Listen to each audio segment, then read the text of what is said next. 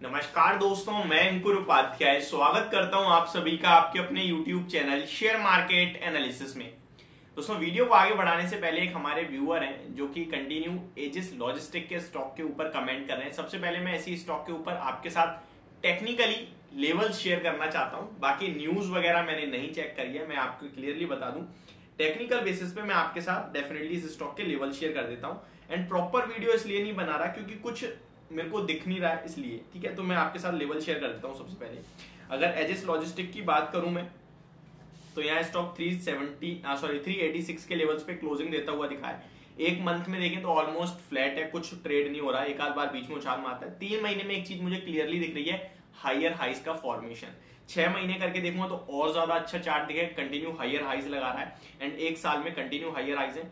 दो साल की बात करेंगे हम तो फिर वहाँ पे मुझे दिखेगा एक rounding bottom and previous top को ब्रेक कर दिया है। देखिए, इस स्टॉक में कितनी बड़ी तेज़ी बनेगी या आपको मुझे नहीं पता है, बस एक चीज़ कहूँगा, जिसके पास है बने रहे और प्रीवियस स्विंग लो का स्टॉप लॉस रखें 375 का।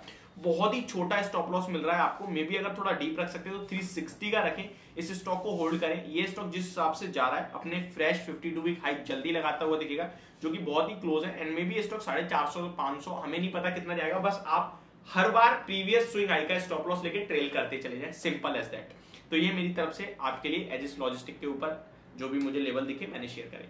अब आते हैं कल के लिए इंपॉर्टेंट चीज़ों पे। तो कल सबसे पहले तो भारत की सबसे बड़ी कंपनी रिलायंस अपने स्टॉक अपने रिजल्ट्स पे रिएक्शन देगी। एक कमेंट आया था कि भाई, आप रिलायंस के नंबर्स को जितना अच्छा बता रहे हैं, उतने अच्छे आए नहीं है। तो मैं यहाँ पे इतना बोलूँगा कि भाई कंपनी ने जो प्रॉफिट पोस्ट करा है ना रिलायंस ने वो सिंपल आपको मैं बताना चाहूँगा एग्जैक्टली exactly कितना पेश है और मार्केट की एक्सपेक्टेशंस क्या थी वो समझाऊँगा मैं आपको। फिर आप खुद मुझे बताना प्लीज़ अगर आप वीडियो देख रहे होंगे तो आप कमेंट ज़रूर करना कि नंबर्स अच्छे हैं लिटरली या नहीं है। रिलायंस ने कंसोलिडेटेड जो नेट प्रॉफिट पोस्ट करा है वो 19.1 परसेंट बढ़कर उन्नीस हज़ार दो सौ निन्यानवे करोड़ का पेश कराया मार्केट की एक्सपेक्टेशंस अराउंड 16 परसेंट समथिंग थी। और लगभग सत्रह हज़ार सात सौ, छह सौ करोड़ के करीब का प्रॉफिट का अनुमान था, जिसके सामने उन्नीस हज़ार तीन सौ करोड़ है।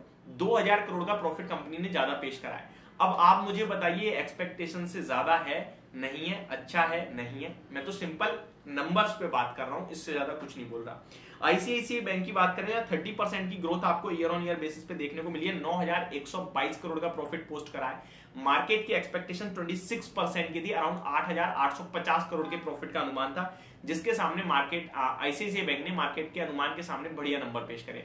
तो दो दिग्गज अपने अपने फ़ील्ड की दोनों नंबर अच्छे पेश करते हुए दिखे तो मुझे लगता है कल ये मार्केट को सहारा देने का काम कर सकते हैं। वहीं अगर दोनों के टेक्निकल बेसिस पे बात करें तो रिलायंस इंडस्ट्री में एक रेजिस्टेंस दिखता है जो कि nine sorry twenty four hundred twenty से लेकर फोर्टी के बीच में उसके ऊपर निकलेगा तो फिर छब्बीस सौ रुपए तक की वन साइडेड रैली आपको देखने को मिल सकती है। वहीं आईसीआईसीआई बैंक की बात करें तो यहाँ कोई रेजिस्टेंस नहीं है, बस नीचे सपोर्ट है 868 पे कंटिन्यू हाइयर हाइस लगा रहा है। अगर पॉजिटिव रिएक्शन देता है तो 920 तक आ सकता है। अगर इन केस पॉजिटिव रिएक्शन नहीं भी देता है मार्केट नीचे लाता है या मार्केट जो रेंज प्ले कर रहा है, वो रेंज ही प्ले होती है।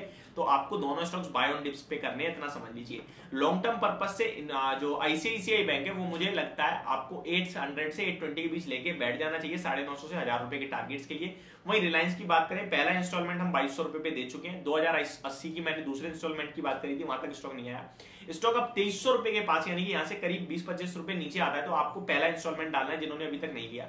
और जिन्होंने एक इंस्टॉलमेंट डाल दिया था हमारे कहने पे बाईस पे, उन्हें सेकंड इंस्टॉलमेंट जो दो हज़ार अस्सी पे डालना था, उसके बाद तेईस सौ रुपए पे डालना है सिंपल एज दैट तो ये दोनों स्टॉक्स पे मैंने अपनी राय दी। यस बैंक के नंबर्स की बात करें तो इनलाइन लगे, मुझे प्रॉफिट थोड़ा कम आया, लेकिन एनआईआई और एनआईएम जो है, वो मार्केट के एस्टिमेट के सामने ऑलमोस्ट अच्छे आते हुए दिखे हैं।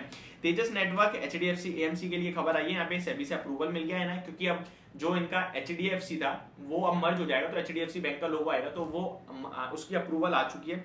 बाकी कुछ ज़्यादा बड़ा है नहीं, कोटक महिंद्रा बैंक के लिए share holders approve the appointment of Uday Kotak as a non executive and non independent director तो बड़ी कोई खबर है नहीं यहाँ पे।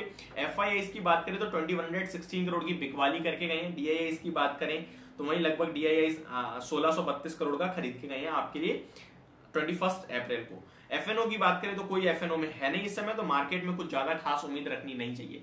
एक स्टॉक जिसके लिए आज ब्रेकिंग न्यूज़ आई है ऑलरेडी मैं पूरी वीडियो डिस्कस कर चुका हूँ विप्रो विप्रो ने कहा कि हम इस बार 27 अप्रैल को रिजल्ट्स के साथ साथ बायबैक के ऊपर भी विचार करने वाले हैं। दैट मीन्स वो बायबैक भी करने वाले हैं। देखने वाली बात यह कि टेंडर रूट आता है ओपन मार्केट आता है, कितने अमाउंट का आता है और किस प्राइस पे आता है। ये मेरे लिए सबसे इंपॉर्टेंट होगा। बट ये एक डेफिनेटली गुड न्यूज़ है बाईबैक विप्रो के शेयर होल्डर्स के लिए। और विप्रो इसके पे कल आपको एक तेज़ी में भी दिख सकता है। अब आते हैं रिजल्ट्स कैलेंडर के ऊपर। वैसे तो मैं ऑलरेडी इसके ऊपर मॉर्निंग में वीडियो बना चुका हूँ बट ठीक है, जब हम बात ही कर रहे हैं तो पूरी बात करेंगे।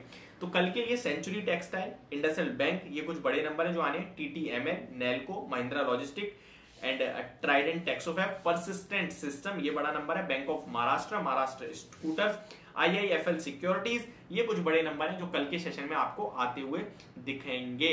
होप आपको ये सारी जानकारी क्लियरली समझ में आ गई होगी। And thank you so much for watching this video and have a great day guys